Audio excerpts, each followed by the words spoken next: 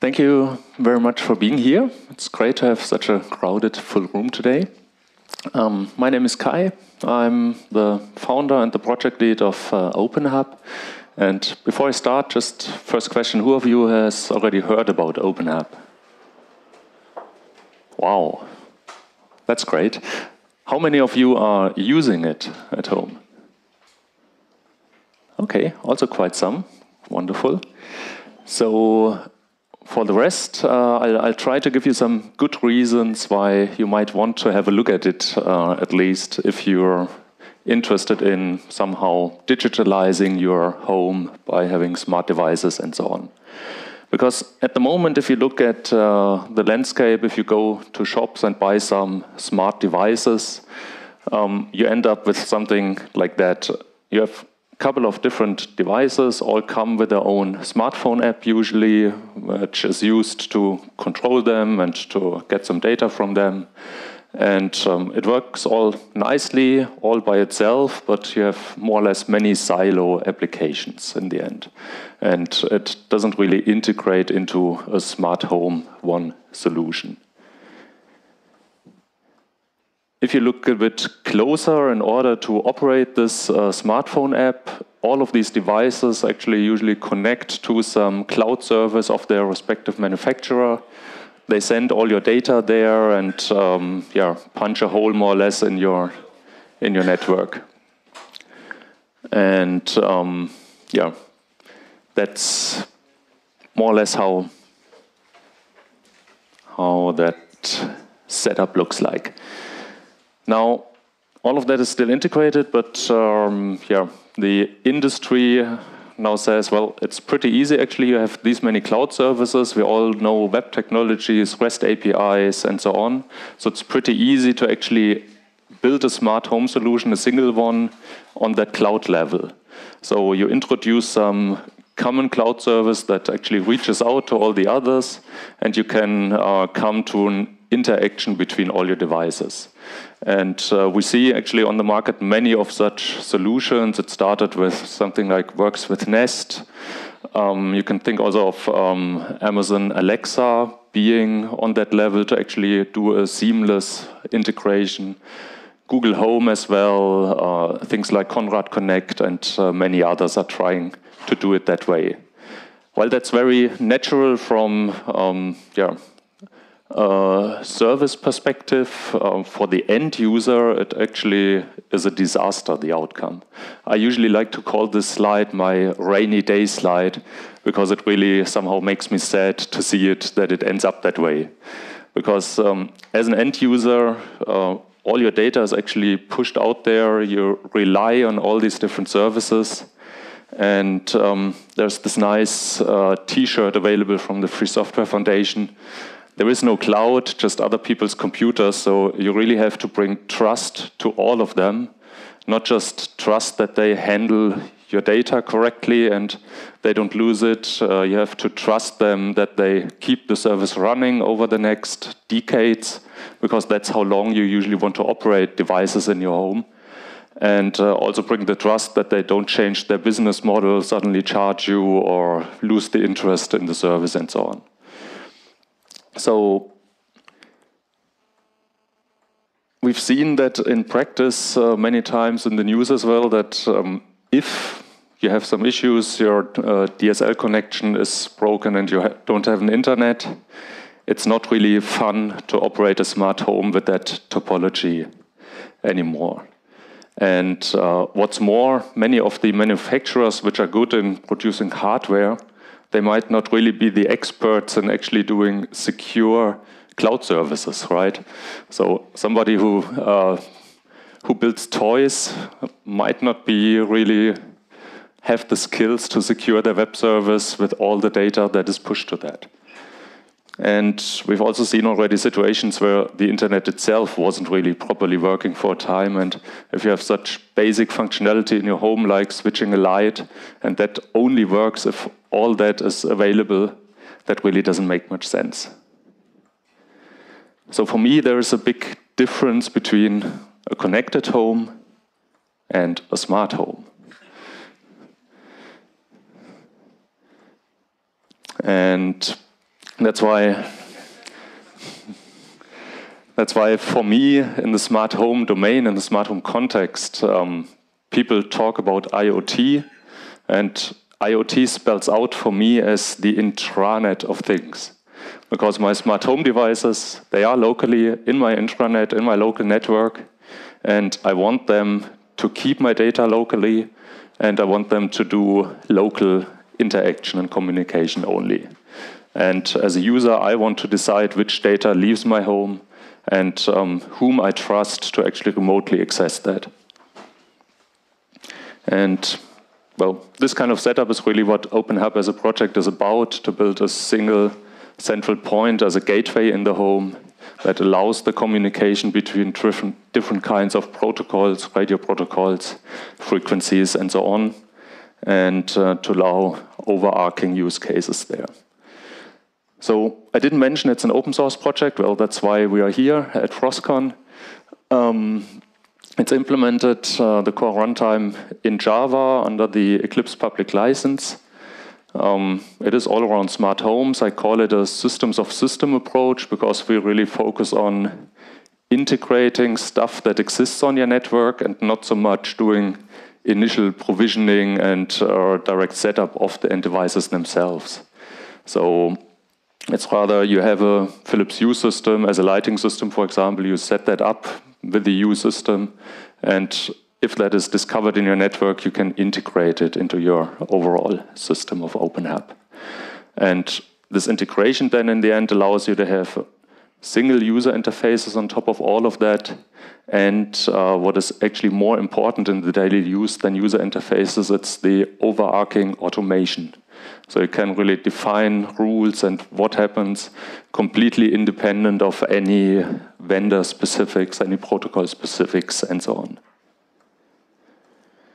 Just some statistics about the community.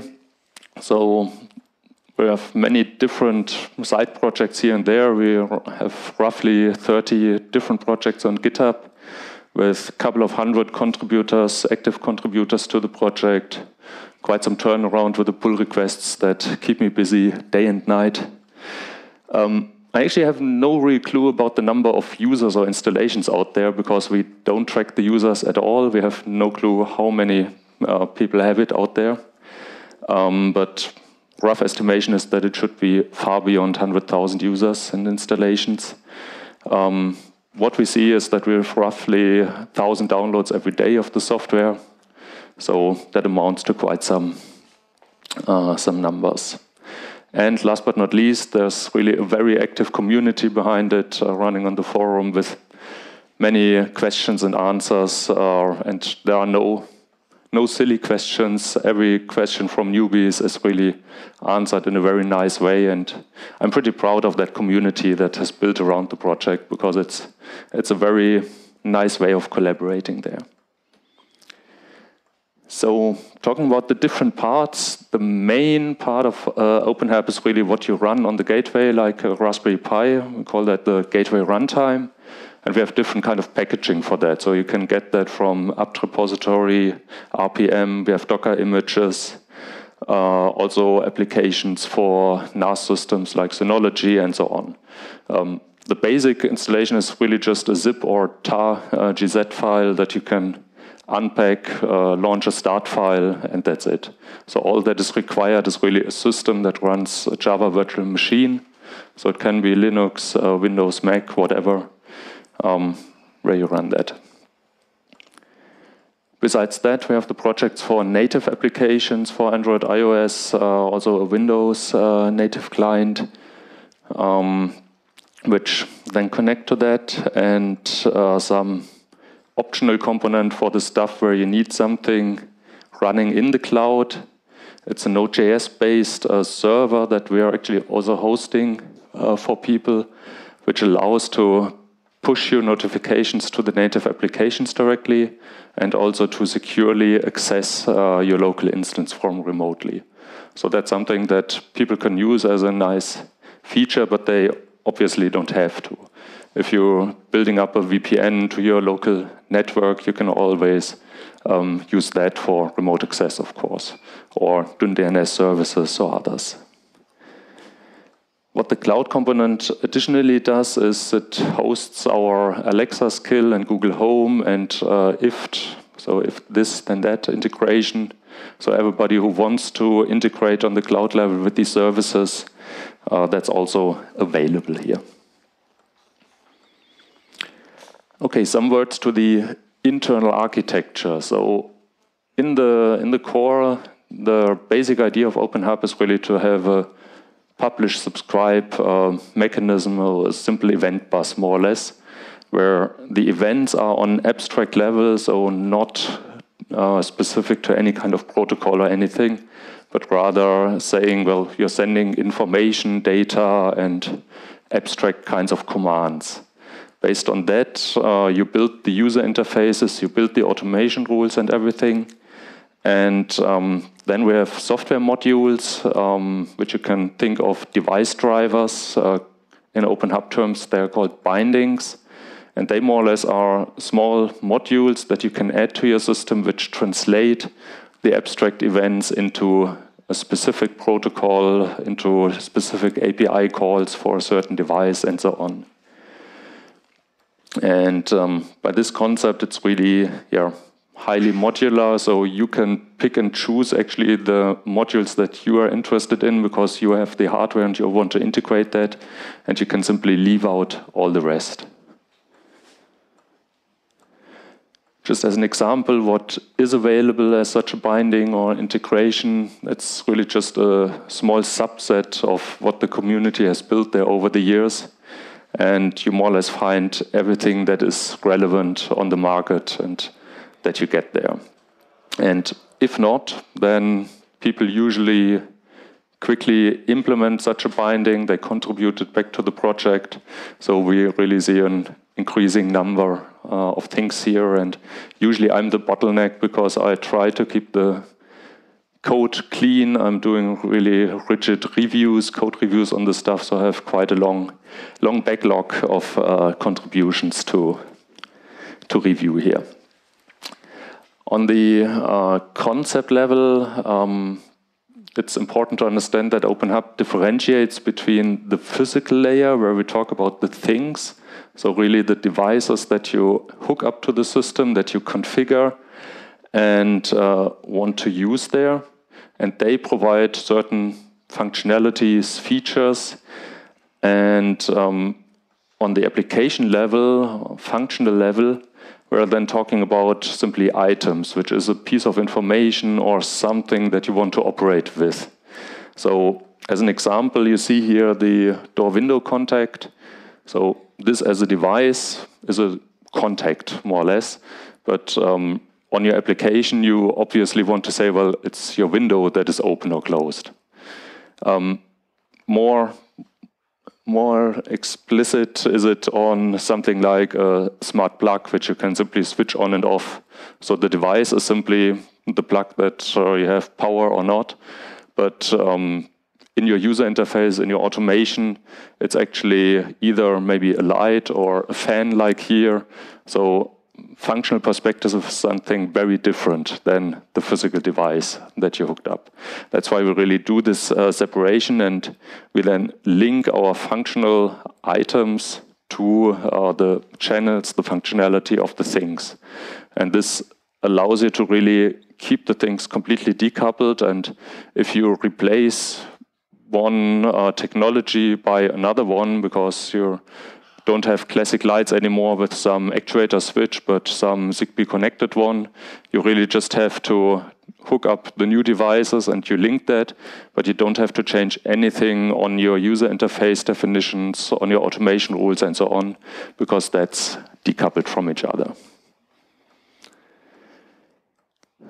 Sitemaps, uh, just to mention them briefly, that's um, a declarative approach to actually define what you want to see on your user interface. So it's a small text file where I say, well, okay, that's more or less the content you want to have on the UI. These grouped on a page, uh, that's then on a subpage with that kind of icon uh, next to it. And you define that once, and this is then read and used by the different user interfaces, be it the HTML UIs, be it the native applications. So only define it once and have it then available across all the different devices and UIs. Just to show what kind of UIs uh, exist, uh, it starts from things like smartwatch, uh, Pebble um, UI, different uh, web versions, the native ones, also uh, having a special HTML5 one for bigger tablets and screens where you can really define many very specific widgets and having wall-mounted tablets uh, for nice, nice view and visualization of your home. Some further features, uh, just to mention that they exist. We have text-to-speech, many different implementations uh, that you can uh, choose uh, what to use there, which is very useful for doing notifications in some way in your home. Um, audio sinks is the mean to actually um, bring such a uh, such a audio um, stream then to some device. It can be an MP3 file, it can be the output of a text-to-speech engine, and so many devices like connected speakers or Kodi or a Chromecast receiver they all can be used to actually then um, yeah, play the notification sounds that you have there.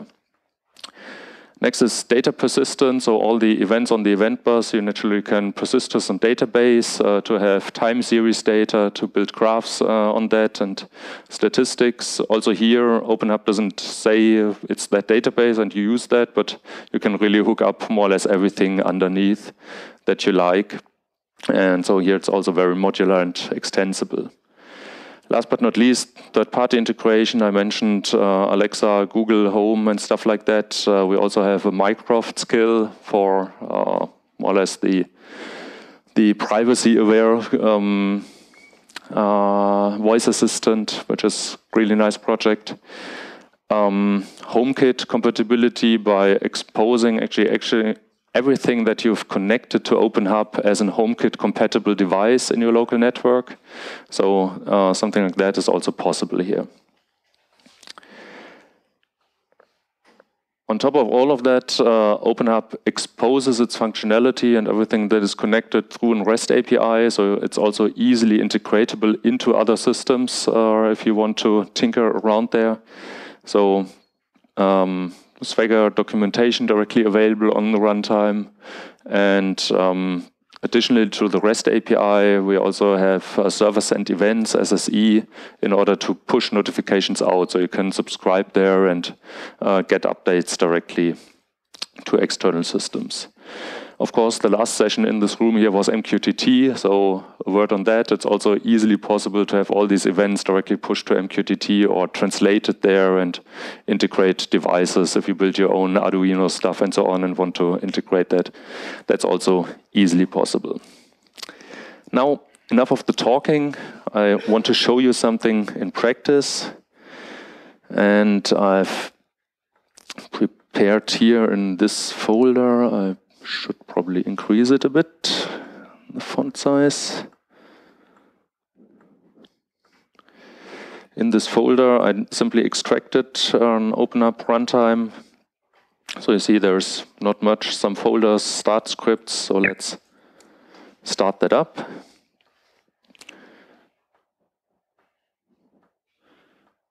Okay. Have a look at the log file. Okay, already started. Started dashboard on local interface. All UIs available. So we can now simply access localhost 8080 and we're on the dashboard, which is simply more or less a starting point to reach the different UIs. Now, um, the main one that you should um, know about as a beginner for the setup is the paper UI, which is uh, on the far right. The paper UI is our administration UI um, for doing, didn't I click? I clicked. Um, for doing um, setup of your system through a user interface. So actually OpenHub provides two ways. One is completely uh, text-based, uh, one is uh, through uh, the paper UI. And yeah, for different users and different setups, uh, different ways make sense here. For this demo, um, the graphical UI is a good starting point. So what did I bring with me? Let me show you first. I have a small Bluetooth beacon here, which is a sensor beacon that uh, measures all kinds of uh, values and sends them as data. So that's a good device uh, to get some data into the system.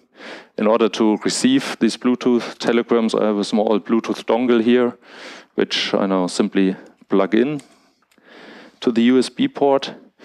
That one um, is not auto-discovered on a Mac. On Linux it is, so I can simply add it manually. So I add a new device from the Bluetooth binding manually, and it's a BlueGiga Bluetooth dongle. We can oops, uh, choose now the port where it's connected, so we get directly the list that is available here, which should be that one. Okay, there it is. It says online, so it connected to it successfully, and we see on the lower right already that devices are coming in here. So that's actually now automatic discovery that this thing is scanning here in the room what, what is available, many Apple users apparently. and we also find our Blukii smart beacon down here. So I can now simply say, well, this one I want to add, the rest I simply ignore. And now we've added that as a device uh, to our system that uh, it knows, okay, it wants to do something with that. We see the channels listed, so it gives its uh, signal strength, RSSI indicator, uh, battery temperature, humidity, pressure, and so on. And if we go to the control tab, it will take a moment because it just sends out uh, these telegrams from time to time. RSSI had already received that it's there, and the rest should come flowing in now. Still enough battery on it, that's a good start. Okay, and there we have the other values. So that was the first device being integrated, pretty easy. Next one is here, this nice light bulb which I brought with me that hasn't been discovered because it's actually completely powered off. That's interesting, why did that turn off? Okay. Um, Now it has power, and uh, this is already pre-configured to hook up to my local uh, Wi-Fi here. So that will now that it has power hook up to the network, and hopefully I should automatically find that. We can check. It's a LIFX bulb, so it's Wi-Fi enabled LED bulb. Look here, and uh, there we go. It found the bulb. Again, we can say let's add that. Just call it LIFX. And it has color, color temperature, signal strength, and if we go to control, we should now be able directly to control it. Wonderful. Either directly that or changing the color temperature, so we can have a cold white over to warm white. You can choose what, what kind of Oh, that's a bit bright. Let's go here. Okay, that was next one. This one? Wi-Fi. Wi-Fi, yeah. Okay, last one. Now we have some data. We have a device to control. Now we need some controller. And uh, for that, I brought this little thing here with me. Who knows what it is? What is it? Very good, yeah. That, that's the right uh, movement. Uh, it's a stereoscopic infrared camera that um, can recognize gestures that you do above it. So I can simply plug that in. It's called a Leap Motion uh, controller. Leap Motion is.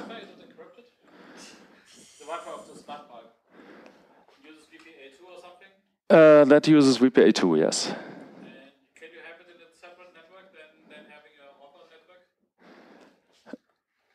Should have it in a network that openHAB can reach it. But yes, it can be on a different network uh, than you usually use for other stuff.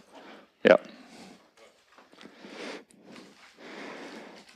So I plugged this one in and la, la, la, many Bluetooth devices around here. There we go. We have a new inbox entry, the Leap Motion controller. Let's add that one. And this has a single channel which recognizes gestures, and I can now decide what to do with that one. I click here and say, well, I want to control some color. I have to uh, select the channel which uh, I want to control with that, and it's the color channel of the LIFX bulb. Okay, we link it, and we should be there. Now let's have a try how that works. So I can simply now say, uh, yeah, there, it's on, and I turn it off. Okay, so you have to imagine the, the button here, I'm pressing it, and you can turn it on and off. Uh, it's probably too bright light from the top. I can also simply hold my hand here with the five fingers, I can dim it. And it's really fun. I can do that for, for hours. Um, and last but not least, we want to have a color control, of course. So how do you display colors usually as a color circle? So let's simply circle here. And you see we change the color this way or the other way around. Uh, it has some problems with the light here from above. Yeah, but there we go. Okay, so that's a nice control now directly for the lamp and something very, um, very different from technology point of view, but are easy to integrate. We can also do some very simple rules through this user interface. Like we can say, well, actually, I have my virtual doorbell here. So let's call a rule doorbell. And we say when a trigger channel fires, we have to choose the channel, which is our Leap Motion controller, and choose an event, which is simply the tap event gesture. Then we can do a couple of things like playing a sound. And I have some a dog barking, no, rather use the doorbell. On the standard sink, which should be simply the output of the local system. Okay, let's try if our doorbell works. Ah, nice. Small leg. Cool. And I can do that for hours as well. okay. Pardon? How much? Um, if I remember correctly, it was somewhere around 60 bucks. Yeah. So actually not too expensive. Hmm. Um, the, the sensor, meant to mention, um, it really just, the hardware is the stereoscopic camera, but the whole processing is done on your computer. So actually connecting that to something like a Raspberry Pi usually doesn't work because that's simply too, too little computing power on that. Here on my uh, MacBook, it uh, works nicely. But it sends, I think, um, around up to 200 frames, so images per second, which you have to process and uh, recognize the gestures.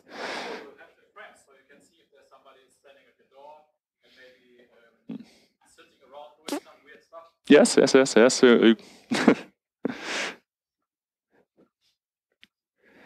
okay, so, see stuff coming in there. Okay, that was uh, the stuff around here, but I also want to show you now the more expert mode, so what you can do on the textual side. And for that, we have a nice uh, Visual Studio Code uh, plugin for openHAB, uh, which supports you in textual configurations and uh, things you can do there. Now, on the items, Let's create a new file here. My items, is that big enough to read? Yeah, okay, wonderful. So we can now simply define a new item here, which we say is a switch. So simply just a Boolean value, which we call presence, and we give it a label, we are at home, for example. So this is now information that uh, we simply say, well, we want to have this information, we want to work with that information in rules, in uh, UIs, without having attached any, any hardware to that right now. Now we can define some rules in here. Also my rules, a new file. So that works with templating here. So we can say we're leaving home is a rule. And um, we could now say that's actually something I have um, at home that when I'm leaving home and I'm pressing a button that I'm now away, I'm actually turning all my lights off because I might have forgotten quite some of them. So we can simply now say here if our LIFX color, you see all of that is directly read from the live system. That's what this Visual Code plugin does. It really connects through the REST API to the openHAB instance and reads what is defined there. So it can directly check everything and um, offer you syntax completion. We want to get the state of that, get state as an on-off type. Usually the state of this thing is a color state, so hue, saturation, brightness. We're now only interested whether it's on or off. And if this one is on, we want to do something. Um, that is um, kind of scripted Java language. So the question was, what kind of uh, scripting language is it? It's a scripted Java language. Uh, it's an Eclipse project called uh, XBase or uh, Xtend, which uh, was more or less uh, done by model-driven development from the Xtext project. Um, really being more or less completely compatible to Java, but uh, being parsed uh, and interpreted at runtime and really uh, nicely scripted. And all of that is then also integrated with the uh, syntax checking and content completion through the language server protocol. Um, if you might have heard about that one, so it's actually openHAB runtime serves as a language server, so it provides information what kind of commands are valid now, is the syntax correct, and so on. So you see that it uh, highlights stuff here that it's not okay, and so on. So that's really a very nice integration here because I, I started off with some projects that also had scripting in Perl language and so on, and I never actually got my scripts right and working, and I really wanted to have something um, doing syntax checks and stuff. So where was I? I checked whether it's on, and if I was so so bad and forgot the stuff, I can simply say, "Hi Kai, you have left the light on." And of course, we can oops, this line. Of course, we can then directly send on the LIFX color item, we can send an off command. Okay, and if if we didn't forget it, we just say goodbye. Now I just have to figure out why it says, ah, sorry. That's the good thing about the syntax checking here. That block should go to the then, of course, because the when was, we have to define our condition here. When the item presence, which we just defined, changed to a new state, which is off. So we're leaving home. I forgot that part first. So that's the when block, which is your triggering uh, conditions. When should this rule be run? And now in the then block, this makes sense. Okay, let's quickly write a second rule for coming home. And the trigger would be very similar. Item presence changed to on. Then we can now, for example, say, well, we have a light sensor here. And we can say, well, if it's dark at home, we want to turn on the light automatically. So let's go for the Blukii information, which is the luminance at the moment 20, 20 lux, which is not much here. So if this state is is bigger than 10. And the nice thing is we can also operate with units in here. So if you have some sensor that reports, I don't know, miles and you want to calculate in uh, kilometers, then you can simply say, well, okay, put a unit to it and uh, the rest will be done by the system automatically. So if it's lighter than that, then we get to the LIFX color and send an HSB, hue saturation brightness type um, white as a color.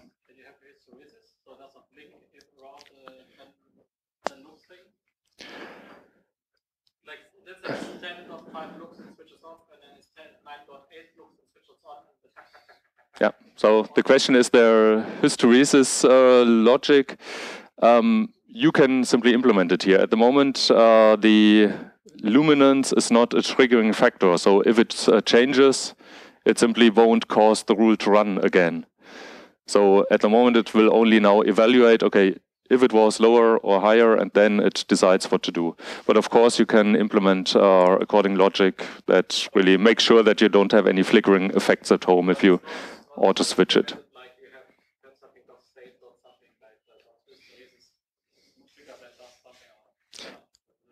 No, but uh, there are some uh, triggers. I don't know if they're readily available already, but uh, the idea was to have triggers for rules uh, where you can simply state such things already.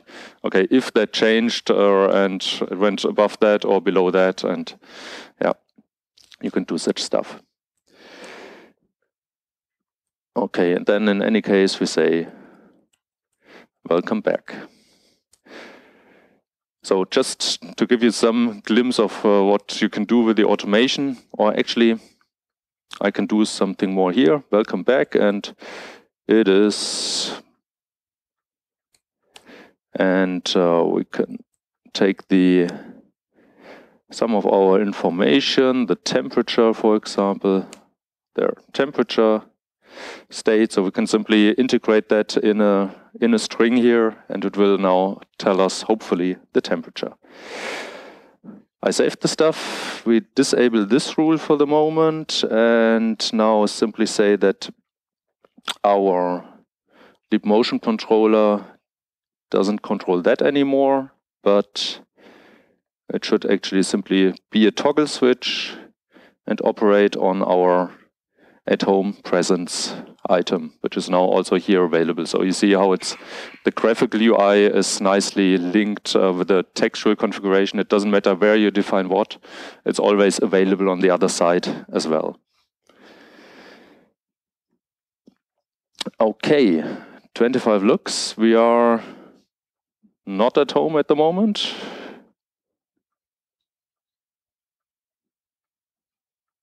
Nothing happens at all. That's not much. A rule coming home, the names blah blah cannot be resolved. Okay, that's more or less already what you want to know. The coming home, this one cannot be resolved. Ah, I know that's that's just a very little small bug that I just found out about when preparing this demo by deactivating the um, the leap motion from the color channel. It actually removed the item for the color channel. Just have to press here. Now it's again available, the item, and the rule should nicely work. You will see. Okay, not at home. Welcome back. It is 24.0 degrees Celsius. Okay, that worked and it was light. Yeah.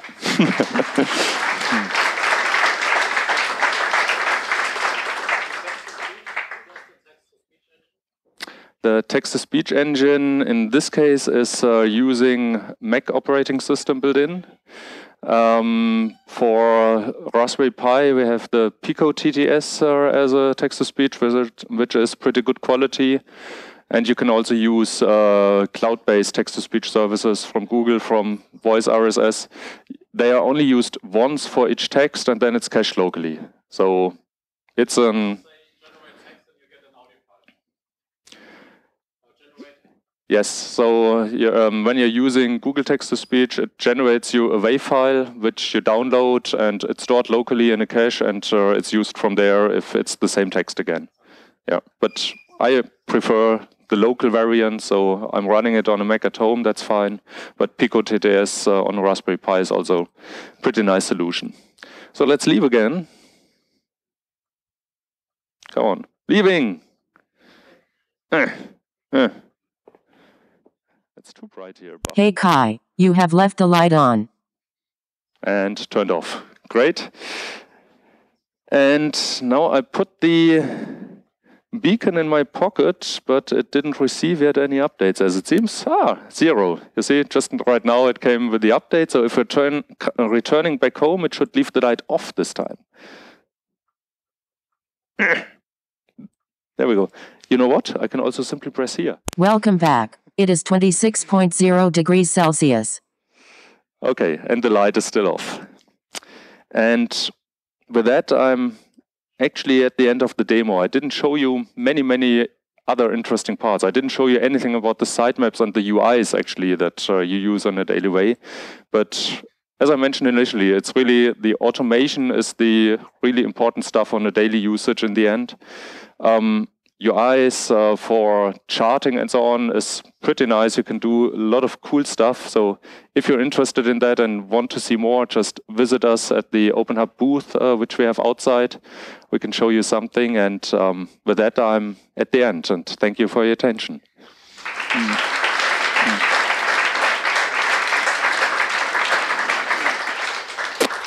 And I think we have a few minutes left for questions, and there would be the first one. I can hand you the mic. So it would be interesting to know, for example, to do statistics, like you want to see how much electricity you're consuming while you're in Mallorca and your house is unattended. You want to see if your heating is running and things like that. Do you, is there some charting solution that you can see uh, what happened to your house if somebody opened the door and things like that?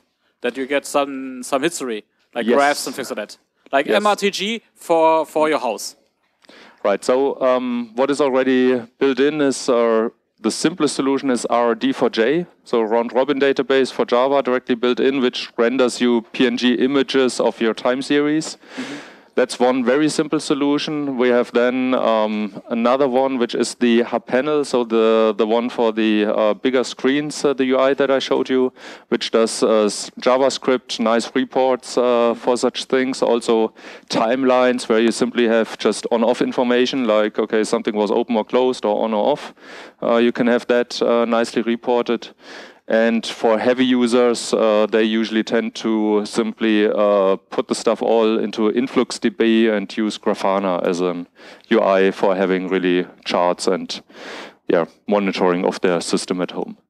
Okay, so if you want to you want to search into your freezer, if it's for example consuming more electricity than it should, maybe at the same temperature, uh, a year later it used maybe five percent more electricity, and you could maybe uh, want to um, remove the ice from the freezer or something because because you see now it's a little bit icy because it takes more electricity or something. Yeah, you, you can pretty easily usually see such stuff on the chart. So I'm actually also monitoring my energy consumption, and I often already noticed if at night it's more than usual, okay, something must be abnormal, and I go around and uh, wonder what it is. Yeah, Ah, so cool. it can be helpful. Any other question? Ah, right here, please. Sorry, I was late. Uh, so it's a very practical question. How I would go about making a UI for this thing on an on an old Android tablet or phone, which we all have lying around, I expect. I want to have Oh, a screen where I would check what's what's going on with my house. Can I can I use an Android tablet or a phone for that? Do you have a UI which fits that well? An Android tablet, you mean, or? Yeah. Yes, uh, so the, the HABPanel one is uh, the ideal UI, I would say, for that, because you can adapt it to any screen size and have widgets uh, defined exactly how you want it. For Android phones, uh, we rather have a native app uh, that more or less does a list rendering of your stuff and where you can easily browse, and which is okay for on the road. But for bigger tablets at the wall, um, it's an HTML5 application. This uh, this panel uh, UI, so you can run it on an iPad, on Android tablet, on any kind. Sounds great. One last question. Uh, you told us what is easy to integrate. Can you tell us what is hard to integrate right now? Could, could you So you, you listed the devices. It showed us the devices which are easy to integrate. Which are hard to integrate. Yeah. Um, well, usually the devices where the manufacturers don't really care about open APIs and they try to close it as much as possible and just send their data to the cloud. These devices are really not fun and uh, it's nothing that I would suggest people to actually buy. And I hope that someday that will actually become a reason for manufacturers to consider open APIs and to really be open to developers. Um, and yeah, there, there are many devices that uh, are really yeah possibly um, able to connect to, but not documented at all. So you have to do a lot of reverse engineering and stuff. So yeah, I won't name any specific one, but there are definitely many cases for people who love reverse engineering. So, are there any devices which are open but are difficult to integrate because of architectural limitations or because nobody had time to do that? Any kinds of devices, perhaps? Well, the trickiest things are usually whole protocol families like uh, Zigbee, Z-Wave, EnOcean, and uh, so all where you have more or less just a protocol defined, but uh, hundreds of different devices out there which might behave according to the protocol. My, some might have firmware bugs, and to handle all of that is uh, usually quite tricky. Okay, thank you. Welcome. I just uh, opened the F-Droid tool to find the application, and it says here anti-features. The app is flagged with the non-free asset flag because the open HAB icon is not under a free license. Why is it? That's a very good question. Uh, it's mainly because I have too many contributions to review. I still have in my local file system actually a file where I want to specify the reuse of our logo.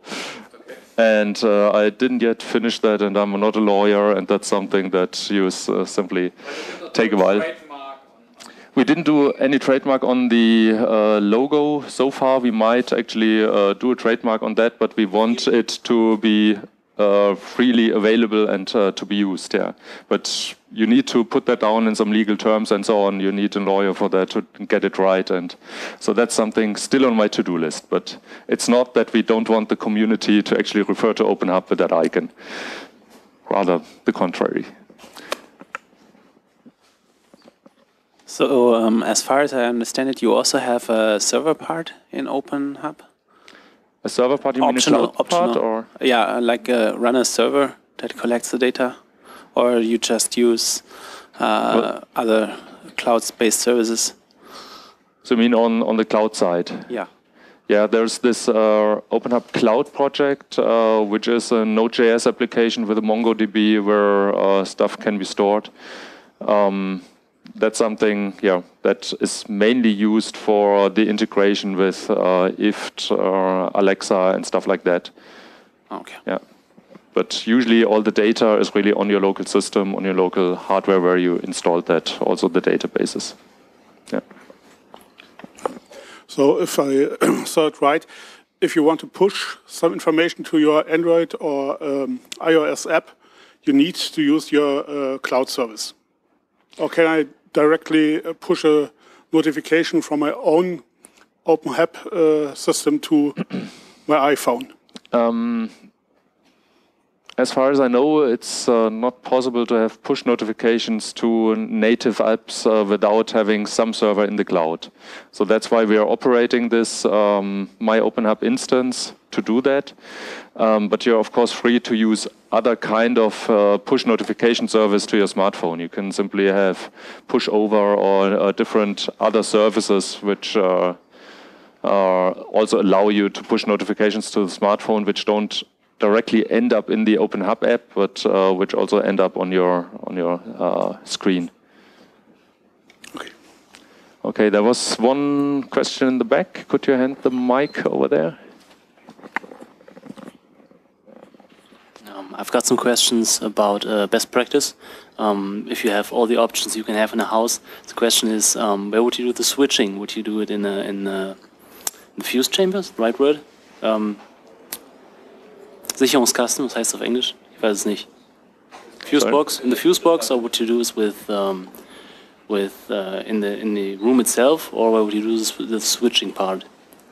The, the, you mean real switches at the wall, or mm, more actors for for light or for, for actuators? Uh, um, uh, usually, I say it's the, there's really no one recommendation that you could give for people or what to actually do because it highly depends on your personal setups there. So whether you're creating a new house or completely refurbishing it, if you're um, somewhere where you actually uh, cannot touch or change anything and you need to retrofit uh, stuff and also the kind of use cases that you want to do. So this might be around lighting, others might want to save energy and do that. So um, there are so many different things around on the market. Um, it's difficult to give the one answer that uh, fits everyone.